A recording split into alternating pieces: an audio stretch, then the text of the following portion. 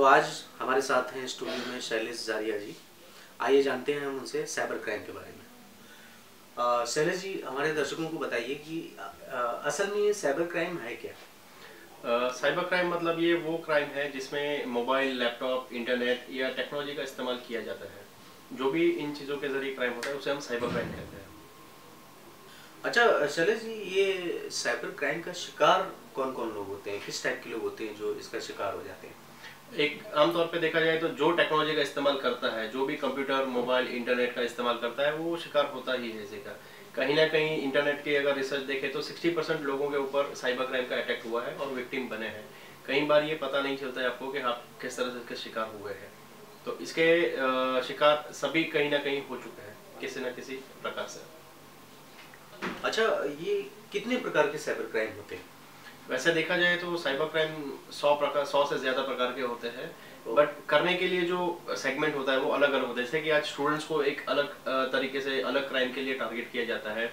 Working women है उनको अलग तरीके से टारगेट किया जाता है। सीनियर सिटीजन है उनको अलग टारगेट किया जाता है।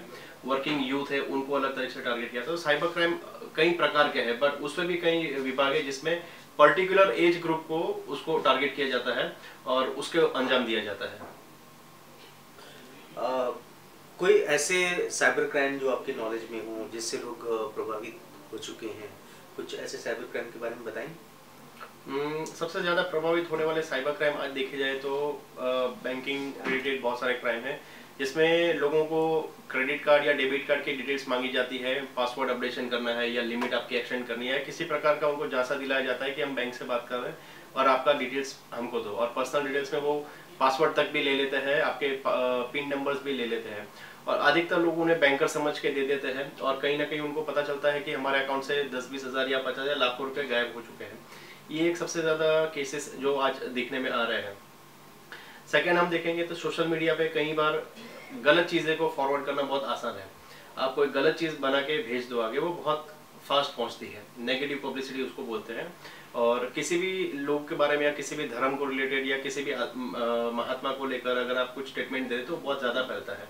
तो लोग ये सोचते नहीं है कि ये सही है या गलत है। तो अच्छा इस टाइप बहुत ज़्यादा होती है। जैसे कि आजकल बहुत देखा जा रहा है देवी देवताओं के बारे में, भगवान के बारे में, कि आप ये पोस्ट ग्यारह लोगों को भेजो, इक्यावन लोगों को भेजो, नहीं तो कोई बुरी खबर मिलेगी। तो इसके बारे में, इस टाइप के जो मैसेजेस होते हैं, इनके बारे में क्या कहना चाहेंगे? ये जो मैसेज होते हैं, ये एक मार्केटिंग ट्रिक्स होती है, जहाँ पे लोगों को बिज़ी रखने के लिए इस तरह के एसएमएस भेजे जाते हैं। कई बार आपको भगवान के नाम से एसएमएस आएगा कि इस एसएमएस को चार बार, चार लोगों को फॉरवर्ड करो या दस लोगों को फॉरवर्ड करो या बारह लोगों को फॉरवर्ड करो तो आपका भला होगा।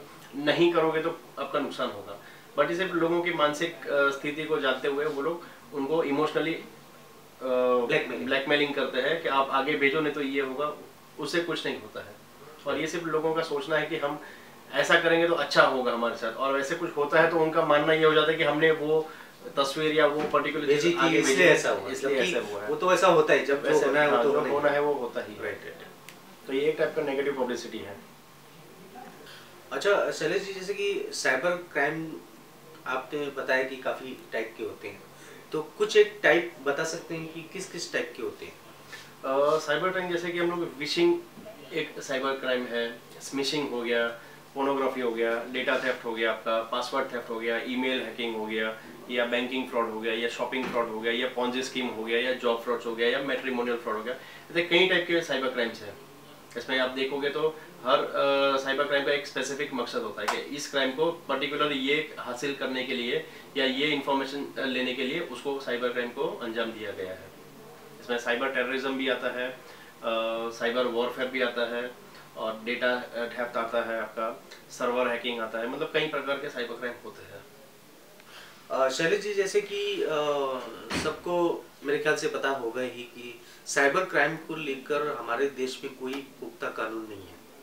तो आज जो हमारे देश में साइबर क्राइम की क्या स्थिति साइबर क्राइम की स्थिति देखा जाए तो आज हमारे पास करीबन अट्ठानबे करोड़ अट्ठानबे हज़ार अट्ठानबे करोड़ मोबाइल फ़ोन यूज़र्स हैं। तो जैसे मोबाइल फ़ोन यूज़र्स बढ़ते हैं, क्राइम बढ़ता है क्राइम बढ़ता है। आज अगर संख्या देखी जाए तो हर साल ये दुगनी से तिगनी होती जा रही है, क्योंकि लोगों को जागरूकता ही नहीं है कि साइबर क्राइम किस तरह से हो रहा है और किस तरह से मुझे बचना है और किस प्रकार के साइबर क्राइम हो रहे हैं। और साइबर क्राइम क्या है वो भी लोगों को पता नहीं है। तो जब तक ये जानकारी लोगों में नहीं आएगी, तब तक वो साइबर क्राइम बढ़ता रहेगा। शैलेश जी काफ़ी अच्छी जानकारी दे रहे हैं आप साइबर क्राइम के बारे में। तो मैं ये जानना चाहता हूँ कि साइबर क्राइम से बचने के क्या तरीके हैं, ताकि लोग साइबर क्राइम के शिकार ना साइबर क्राइम से बचने के लिए पहले, सबसे पहले ये जानना ज़रूरी है कि साइबर क्राइम होता क्या है। किस तरह से साइबर क्राइम होता है और किस तरह से लोगों को फंसाया जाता है। कई कई साइबर क्राइम में लोगों को टारगेट किया जाता है कि पर्टिकुलर ये क्राइम के लिए, अपना ये चीज़ हासिल करने के लिए हमने इनको ये साइबर क्राइम किया है। तो सबसे पहले साइबर क्राइम क्या है, वो जानना ज़रूरी है। उसके बाद आपके पासवर्ड्स है बैंकिंग डिटेल्स है कॉन्फिडेंशियल पर्सनल डेटा है, आपके इमेजेस है, वो सारी चीज़ें आपको अपने पर्सनल लेवल तक ही रखना है, या पब्लिक में या इंटरनेट पे छोड़ना नहीं है।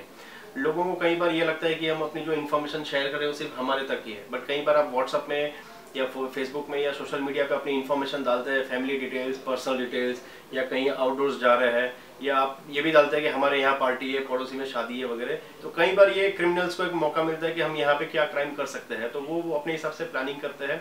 तो ये सारी चीज़ें हमको पर्सनल चीज़ें शेयर नहीं करनी है। इनकम डिटेल्स हमको शेयर नहीं करनी है। और पासवर्ड्स हमारे स्ट्रॉन्ग रखने हैं। या तक कि हमको साइबर क्राइम से कैसे बचा जाए, इसके बारे में इंटरनेट पे भी कई सारी इन्फॉर्मेशन फ्री ऑफ़ कॉस्ट मिलती है। हमको वो चीज़ पढ़ते रहनी है और देखते रहनी है। शैलेश जी, जैसे कि आपकी एक वेबसाइट है साइबर क्राइम रोक डॉट कॉम जो आपने पब्लिक के अवेयरनेस के लिए शुरू की है, आपकी संस्था भी है तो ये किस तरह से काम करती है और इस माध्यम से आपने कितने लोगों को फ़ायदा पहुँचाया है और किस तरह से? साइबर क्राइम रोक, ये हमारी एक इनिशिएटिव है, जिसमें हम साइबर क्राइम को कैसे रोका जाए, उसके प्रयास करते हैं, कई सारे हम सेमिनार्स देते हैं, और हमने अब तक करीबन 500 से ज़्यादा सेमिनार्स किए हैं महाराष्ट्र गुजरात में, और आने वाले टाइम में हम हज़ार सेमिनार्स भी फ्री ऑफ़ कॉस्ट देने वाले हैं। इस सेमिनार में हम लोगों को ये बताते हैं कि साइबर क्राइम क्या है, किस तरह से क्राइम हो रहे हैं, क्यों होते हैं साइबर क्राइम करने वाले का इंटेंशन क्या हो सकता है, और सबसे इम्पोर्टेंट कि कैसे बचा जाए साइबर क्राइम को।